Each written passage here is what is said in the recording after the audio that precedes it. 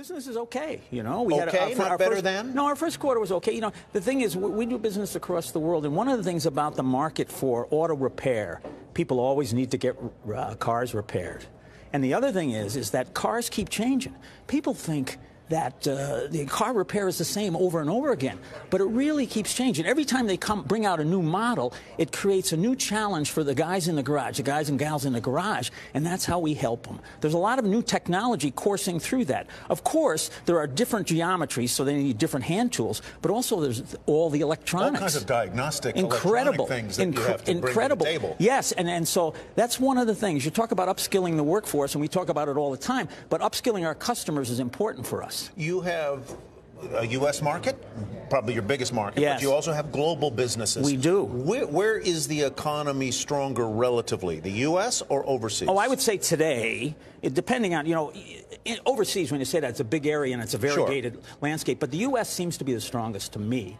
I mean, it, it, it, it appears it appears to be the strongest, and I think a lot of a lot of a lot of uh, indications show that. I mean, the National Association of Manufacturers say that you know their outlook is 79% positive. Now that's down 10 points from the prior quarter, but it's up 20 points from what it was like uh, two years ago. You're expanding in China, right? We are. A lot. We are. We are. is it harder today to do business in China because of the trade tensions between the U.S. and China, or we, not? We haven't really seen that, but the China market is off the buzz, bubble. I mean, Ford is down in the in the first half 27 percent, and Buick is down 15 percent. So the auto repair market is down a little bit. I mean, one of the things you think about in China, they probably never saw a reduction.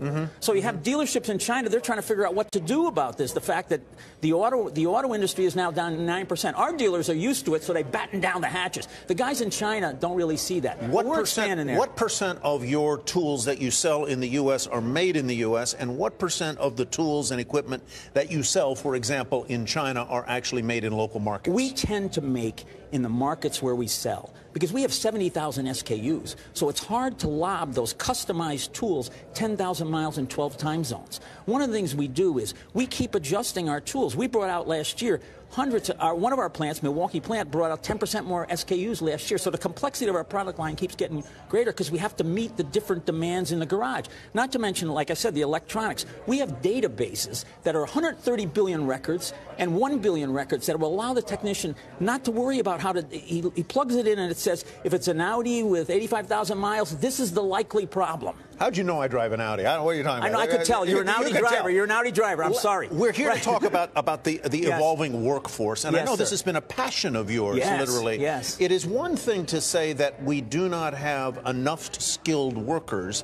There is also, I think you would agree, a kind of PR problem around developing skilled workers in the trades. I would say exactly that. Not just the trades, but auto mechanics and manufacturing.